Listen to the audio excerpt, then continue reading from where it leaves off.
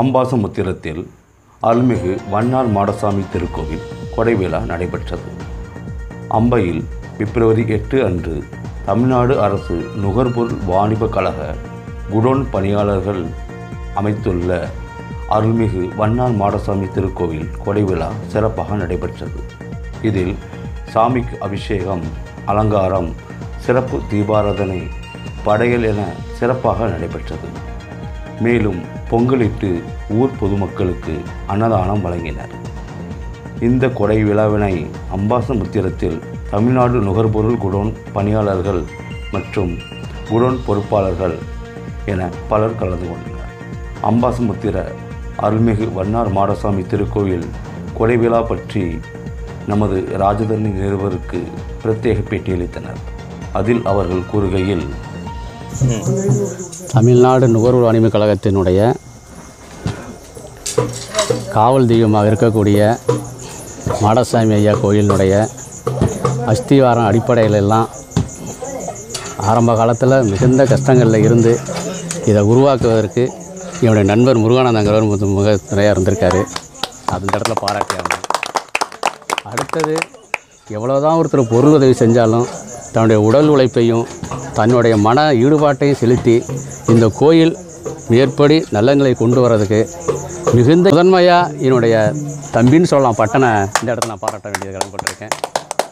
அடுத்தது நம்ம எல்லாருக்கும் வயசில் மூத்தவராக இருந்தாலும் ஒரு வழிநடத்தி உரிமையோடு இந்த கோயிலுடைய நிறு வழிகாட்டி இருக்கின்ற இசைக்கு ஐயா ரங்கநாதன் போன்ற வீரமணி போன்ற அண்ணன்களெல்லாம் நான் பாராட்டுறேன். சரிங்களா? அந்த காலத்தில் ஒரு பழமொழி சொல்லியிருப்பாங்க எல்லாருக்குமே தெரியும். வீட்டை கட்டி பாருங்க கல்யாணம் பண்ணி பாருங்கம்பாங்க. ஆனால் அதெல்லாம் பழைய மொழி. ஆனால் இப்போ என்ன தெரியும் புதுமொழி கோயிலை கட்டி பாருங்க கும்பாசனம் பண்ணி பாருங்கிறது தான் சரிங்களா? அது சாதாரண விஷயம் இல்லை. கோயில் கட்டணுங்கிறது எல்லாராலும் இருக்கலாம். ஆனால் அந்த ஈடுபாட்டை கொண்டு செய்ய முடியாத எல்லாராலையும் ஈடுபட்டு செய்ய முடியாது. தன்னுடைய மன ஈடுபாடு. அதாவது கோயிலில் கடவுள் வந்து சோதிப்பாருங்க. தண்ணிக்குள்ளே இறங்காமல் எவனாலும் நீச்சம் பழக முடியாது. ரைட்டுங்களா அதே மாதிரி கடவுளுடைய சோதனைக்கு உட்படாமல் ஒரு மனுஷன் ஜெயிச்சு வர முடியாதுங்க. புரியுதுங்களா? மனுஷனை சோதிக்கிறாருனாவே மனுஷனை அவர் சரிப்படுத்த போகிறாருன்னு அர்த்தம். பரிச்சு வணக்கம். இந்த பட்டணத்து சுமித் தொழிலாளராக நடத்தும் கொடை விழா இது. இது முன்னாள் சூப்பரண்டு. இவரால் இந்த கொடை விழா நடந்துகிட்டு இருக்கு.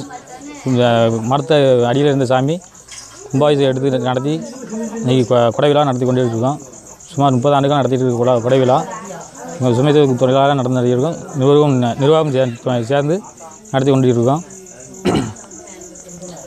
அதுபோக சுற்று வட்டாரம் ஆழியூர் ஏரம்பாரம் கோட்டாங்குளம் மன்னார்குடி பிரம்மதேசம் சேர்மதை வீரனூர் எல்லா ஊர்லேருந்து வந்து சாமியை வணங்கி போயிட்டுருக்காங்க. எல்லா காரியம் வெற்றியாக நடந்துகிட்ருக்கு. இருக்கு சுமயத்துக்கும் தெரியல அனைத்து சமுதாயங்களில் இருந்து வேலை பார்த்தாலும் சரி நாங்கள் அண்ணன் தம்பியாக பழகி ஒருத்தர் ஒருத்தர் சொல்லுது கேட்டு நாங்கள் நல்ல படியே வேலை இந்த உடவில் நடத்தி கொண்டுட்டு இருக்கோம் என்றைக்கு ஒற்றுமையாக இருக்கும் இந்த ஆண்டவன் எங்களுக்கு துணை இருக்கணும்.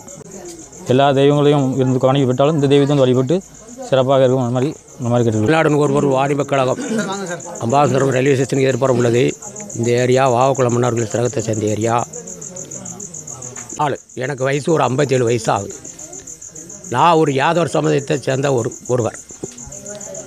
இன்னொரு சாமி கொண்டாடி ஒரு மறவர் இனத்தை சேர்ந்தவர். இப்படி பல இன்னொரு தேர்வர் ஒரு சேனத்தில் சமயத்தை சேர்ந்தவர். இப்படி ஒவ்வொருத்தர் ஒவ்வொரு சமயத்தை சேர்ந்தவங்கலாம் இந்த வாய்க்கா பாலத்தில் இருக்கக்கூடிய இந்த சுவாமி அருள்மிகு வண்ணார்மாட சுவாமி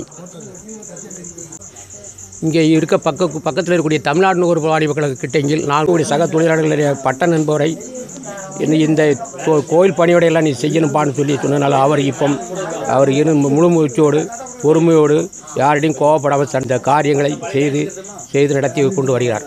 அவர் மீண்டும் எல்லா மக்களும் வளர்ந்து வாழ்ந்து போல் அவர் குடும்பம் சிறத்தோங்கி தளத்தோங்கி வளர வேண்டும் என்று ஐயா சுவாமி சிவப்பரியான் வண்ணார்மட சுவாமி வேலை கேட்டு உங்கள் எல்லோருக்கும் அன்பு கூறி வணக்கம் விடைபெறுகிறேன். நன்றி வணக்கம். ராஜதரணி செய்திகளுக்காக ஒளிப்பதிவாளர் ராஜாவுடன் சிவா